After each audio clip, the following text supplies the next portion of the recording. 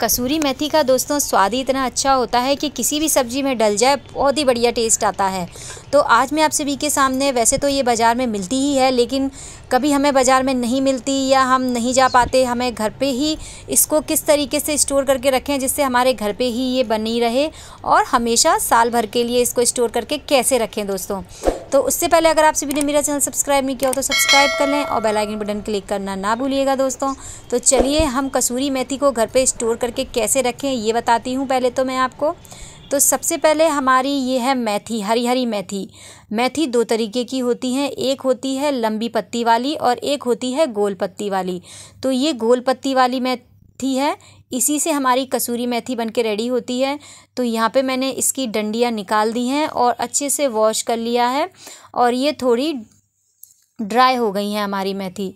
और फिर इसको हम कम से कम धूप में सुखाएँगे दो दो दिन के लिए। धूप में सुखाएँगे तो दो दिन के लिए हमारी सूख के रेडी हो जाएगी।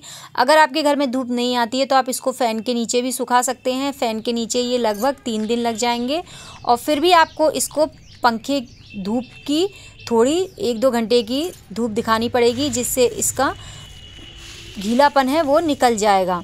और फिर इसको हम अच्छी तरीके से सुखा लेंगे। तो यहाँ पे देखिए, धूप में मैं इसको अच्छे से सुखा रही हूँ। तो यहाँ लगभग दो दिन हो चुके हैं और हमारी जो मेथी है, बिल्कुल ड्राई हो चुकी है। देखिए किस तरीके से बिल्कुल बाज़ार जैसी मेथी बन के कसूरी मेथी बन के रेडी हो गई है। ये देखिए तो यहाँ पे इसका कलर भी बिल्कुल वैसे ही का वैसा है, कलर भी नहीं उड़ा है और खुशबू भी बहुत बढ़िया आ रही है।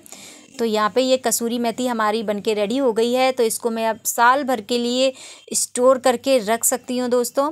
तो जैसे कि मैंने आपको बताया, जैसे कि हम और जिसके घर में माइक्रोवन होता है, उसके लिए तो पाँच मिनट में ही कसूरी मेथी बन के रेडी हो जाती है। और माइक्रोवन नहीं है और घर में धूप भी नहीं आती है तो वो फ़ैन के नीचे, जैसे मैंने बताया आपको, दो दिन के लिए फ़ैन के नीचे उसको सुखा लीजिए और धूप में एक दो घंटे के लिए रख दीजिए, जिससे उसका जो गीलापन होता है मेथी में, वो अच्छे से सूख जाएगा। और फिर ये देखिए, मैं इसको एक कंटेनर में भर के रख दूँगी अपने साल भर के लिए स्टोर करके। और यहाँ पे मैं इसमें चिट चिपका दूँगी। वैसे तो दोस्तों, ये कांच का कंटेनर है, लेकिन तो भी मैं चिट चिपका देती हूँ, जिससे मुझे याद रहे कि ये किस चीज़ का डिब्बा है। इसलिए आसानी होती है, फटाफट से इसको उठाया और अपने डाला। तो ये देखिए, ये मेरा साल भर के लिए कसूरी मेथी का कंटेनर तैयार है दोस्तों। अगर आप सभी को मेरे ये वीडियो पसंद आया हो तो लाइक सब्सक्राइब ज़रूर कीजिएगा। धन्यवाद, फिर मिलती हूँ आपसे नेक्स्ट वीडियो में। Bye bye